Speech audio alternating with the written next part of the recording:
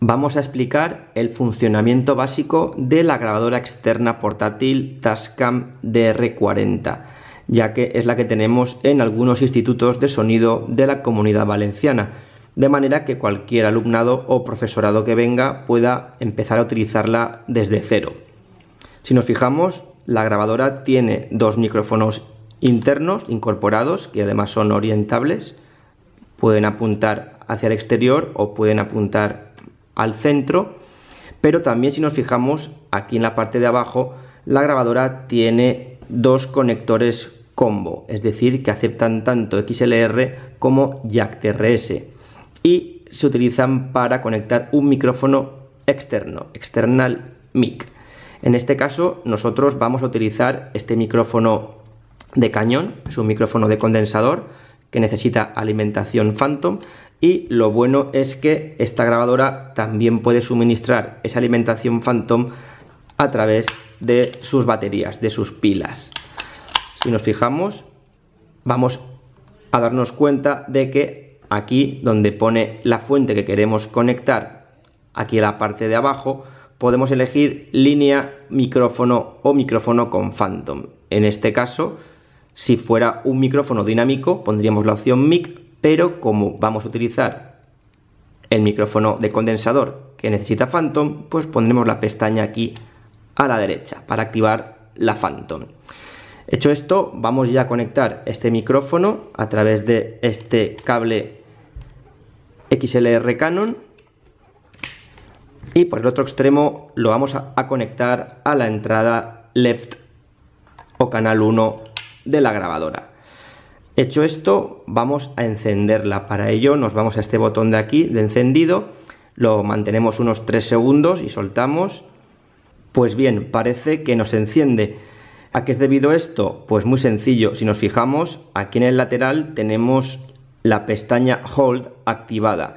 El Hold activado significa que va a bloquear todos los botones de la grabadora. ¿Y esto por qué se hace? Pues para que de manera accidental no podamos modificar algún parámetro o por ejemplo para que no se encienda la grabadora por accidente durante el transporte. Por eso lo que vamos a hacer es desactivar este hold hacia la derecha para poder desbloquear todos los botones. Por tanto, ahora sí que podríamos ya irnos al botón de encendido, lo volvemos a tener unos segundos, soltamos y ya estamos dentro del menú principal. Fijémonos que nos pregunta que tenemos la pestaña de Phantom activada, le decimos que sí, que la necesitamos para el micrófono de condensador, con este botón central le decimos Yes, Enter. Y lo primero que vamos a hacer es pulsar este botón llamado Rec Mode. Y fijémonos, lo primero que vamos a seleccionar es la pestaña en la que nos dice si queremos grabar en estéreo o en mono.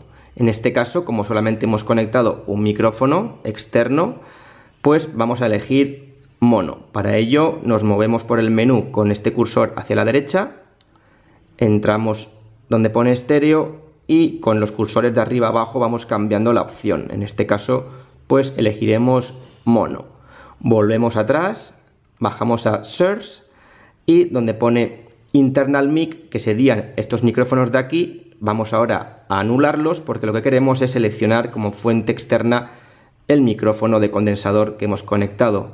Por tanto, vamos a poner, en vez de internal mic, vamos a elegir external in 1, correspondiente a la entrada left externa. Hecho esto, salimos ya de aquí de este menú y nos vamos ahora al siguiente botón que va a ser el botón de menú.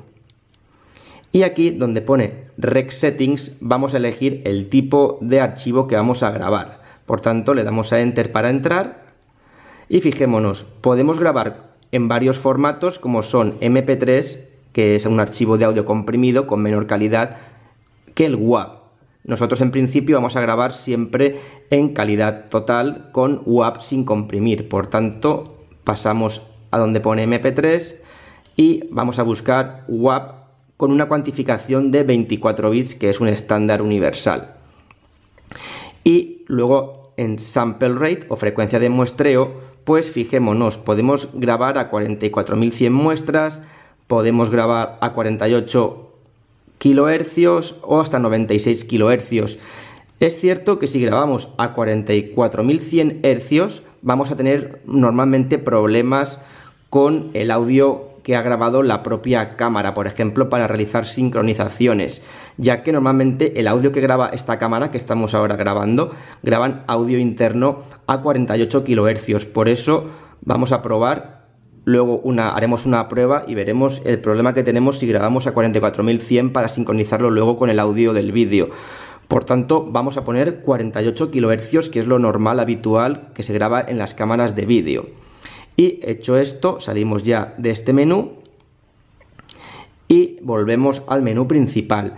Por último, sería muy sencillo. Ahora aquí tendríamos un input level o una ganancia. Nosotros podríamos ir subiendo esta ganancia y para monitorizar visualmente esa ganancia en un indicador de nivel deberíamos pulsar este botón llamado record. Fijémonos que nada más pulsarlo, hey, sí, probando 1, 2, 3, ya tenemos indicador de nivel de entrada.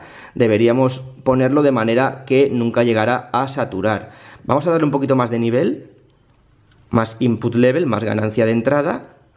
Hey, sí, probando, ahí lo tenemos. Deberíamos, como siempre, pues apuntar a la fuente sonora, que sería yo en este caso, 1, 2, 3, hey, sí, 1, 2, ahí estaría bien, AC sin que llegue a la saturación. Y una vez tenemos esto, muy sencillo, pues bastaría ya con darle al play y ya estaríamos grabando, como vemos ya aquí en la segundera, estaríamos grabando ya el clip. En este caso aquí lo pone el clip Tascam 0100.wa. Y cuando queramos parar, pues podemos poner stop o podemos poner pause. En este caso, si queremos ya pararlo totalmente para que se guarde ya el archivo, pues pondremos stop. Ahí lo tenemos. Y ahora vamos a reproducir ese archivo y escucharlo, por ejemplo, con los altavoces internos que tenemos aquí detrás. ¿Cómo activamos estos altavoces? Pues nos vamos aquí al menú y donde pone speaker,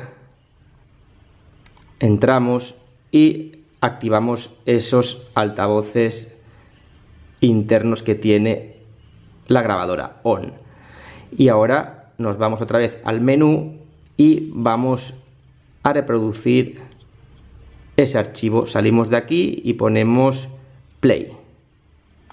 Y ya estaríamos grabando, como vemos aquí en la segundera, estaríamos grabando ya el clip. Aquí lo tenemos. Si queremos escucharlo más fuerte, aquí tenemos un volumen el más y el menos.